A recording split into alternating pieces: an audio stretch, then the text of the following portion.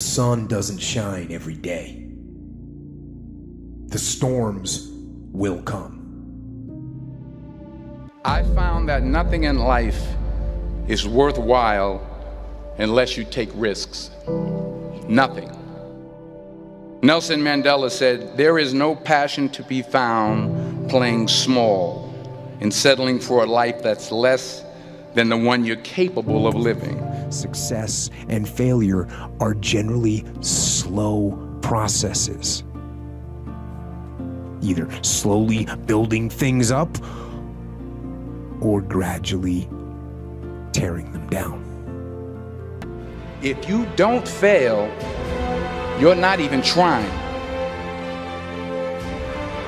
I'll say it again. If you don't fail, you're not even trying. To get something you never had, you have to do something you never did. I had hit my version of rock bottom. So I was willing to let go of everything and everybody. See, another reason why people won't get there is because the doorway is for you to fit through. You're trying to carry everybody else through because you're trying to be Rescue 911. And you got to rescue you first. I am much more valuable to my family and to my community because I was willing to let them go.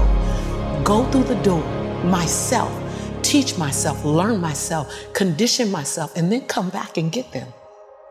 I'm much more valuable to them now. But I had to go through a Right window away. time of 10 Keep years. showing up until you do see the results. Even if you don't see the results for a very, very long time, keep showing up. What if the results don't come? They're not going to come if you quit. Keep showing up. I'm tired. Keep showing up. I don't feel like it. Keep showing up. I can't see any results. Keep showing up. I don't know where to start. Just start. Do something. Take that first step. Pretending that you had everything under control.